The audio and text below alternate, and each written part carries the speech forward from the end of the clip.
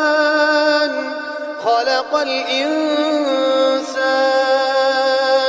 علمه البيان الشمس والقمر بحسبان মন্ডলী এই যে শির্ক মুসলিম সমাজে চলছে এগুলিকে কোনো অপরাধী মনে করা হচ্ছে না অথচ সমস্ত গুনাহ আল্লাহ মাফ করতে পারেন যদি গুনাহ করে মানুষ মারা যায় একমাত্র একটি গোনা করে মারা গেলে আল্লাহ মাফ করবেন না, সেটা কি? তাহলে জানা আছে, তাই না?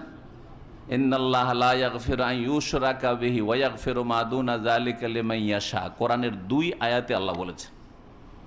দুই জায়গায় আল্লাহ বলেছে, নিশ্চয়ই আল্লাহ লায়াক ফেরোগো ক্ষমা করবেন না। বেহি, তার সাথে শিরিক করা হলে।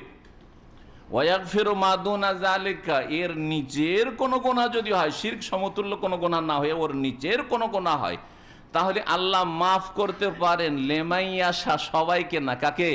যাকে আল্লাহ চাইবেন, যার অন্তর দেখবেন যে এই লোকটা মিথ্যা কথা বলেছে, এই লোকটা কিছু হারাম খেয়ে নিয়েছে, এই লোকটা কিছু পাপ করে দিয়েছে, কিন্তু এর অন্তরে সততা ছিল, এ চেষ্টা করতো ভালো হওয়ার। চেষ্টা করতো ভালো হওয়ার তো অন্তর দেখে আল্লাহ মাফ করবেন। তাহলে সবাইকে আল্লাহ মাফ করবেন না। কারণ নবী করিম বলছে ইন্নাল্লাহ এলা সোয়ারিকুম ওয়ালা ইলা আল্লাহ তোমাদের রূপ চেহারাও দেখেন না। আর তোমাদের দেহ, বডি কাঠামোটা কেমন? কে কত সুন্দর হ্যাঁ? কে কত লম্বা আর কে কত স্বাস্থ্যবান, ওইসবও দেখেন না। ওয়ালা কি আনুজোরো এলা কলু বেকুম ও আমালেকুম। আল্লাহ দেখেন তোমাদের। কলবের দিকে, হৃদয়ের দিকে। আল্লাহ কলব দেখে মাফ করবেন যে কলবটা কেমন ছিল। এই কলবটা সবসময় পাপের দিকে ছিল, না পাপ হয়ে গেলে লজ্জিত, অনুতপ্ত হইতো। আর সংশোধনের অনেক চেষ্টা করত, বারবার তবা করতো আর শক্ত হওয়ার চেষ্টা করত। আবার শয়তান হয়তো তাকে ঘাইল করে দিত। শয়তানের কাছে সে দুর্বল হয়ে যেত। কিন্তু সে তাড়াতাড়ি ফেরার চেষ্টা করত। একজন পাপ করে মাসকে মাস, ছয় মাস, বছর চলে গেল। আর একজন এক্ষুনি পাপ হলে দশ মিনিটের মধ্যে আল্লাহর কাছে কান্নাকাটি শুরু করল। অথবা তার মনে কষ্ট হইল যে, আমি পাপ করে দিলাম, এটা মানুষের কাজ করলাম না, এটা মুসলিমের কাজই নয়। দুজনে পার্থক্য নাই? অবশ্যই পার্থক্য আছে। তোয়াক ফেরো মা দুনা জালিক মাইয়া শাহ কাবিরা গুনাহ ইচ্ছা করলে আল্লাহ মাফ করবেন, কিন্তু শিরকের গোনা আল্লাহ মাফ করবেন না। যদি শিরকের অবস্থায় কেউ মারা যায়, আপনি যদি আকিদা রাখেন যে আল্লাহর গোস আছে, কুতুব আছে, আর বড় বড় আবদাল আছে, তারা অনেক ক্ষমতা রাখে। তাহলে আল্লাহ কখনো মাফ করবেন না। আপনার মাজারে যাওয়া লাগবে না। বড় মুশরেক হওয়ার জন্য বড় সিরকি আকিদাওয়ালা হ্যাঁ জাহান্নামি হওয়ার জন্য আর এর চেয়ে বেশি লাগবে না যে মাজারে গিয়ে সিজদা করেছেন কিনা, খাসি জবাই করেছেন কিনা, আর সেখানে গিয়ে ছেলে চেয়েছেন কিনা, রোগের আরোগ্য চেয়েছেন কিনা, অতগুলি লাগবে না। একটা শিরক নিয়ে মরলে ইন্নাল্লাহ। কখন আল্লাহ মাফ করবেন কখন আল্লাহ মাফ করবেন ভালো করে শুনে রাখেন।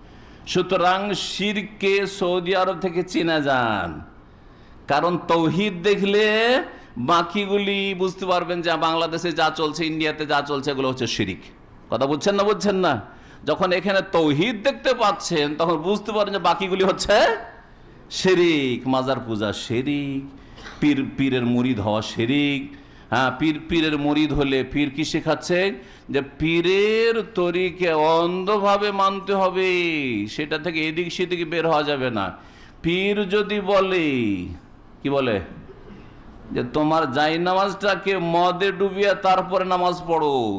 তোমার মন খারাপ করার কিছু নেই, কোনো আপত্তি করবে না। কারণ পীর এমন জ্ঞান রাখে আর এমন চোখে দেখে যেই চোখ তোমার নাই, সেই জ্ঞান নেই তোমার। সুতরাং পীর পাপ করতে বলল, সেটা পাপ নয়। আপনার জন্য পাপ হইতে পারে, কিন্তু পীরের জন্য যখন পীরের হুকুম হয়ে গেছে, তখন যেন আল্লাহরই হুকুম হচ্ছে, নাউজুবিল্লাহ। কথা বোঝা গেছে? এর চেয়ে বড় কুফুরি কি হতে পারে? এর চেয়ে বড় সিরকি আকিদে কি হতে পারে? এইটা দেশের কথিত হক্কানিদের কিতাবে আছে। বলছি, ভাইরা, ভালো করে শুনে রাখেন। এইটা নয় যে এটা ভণ্ডপীরদের কথা শোনাচ্ছি।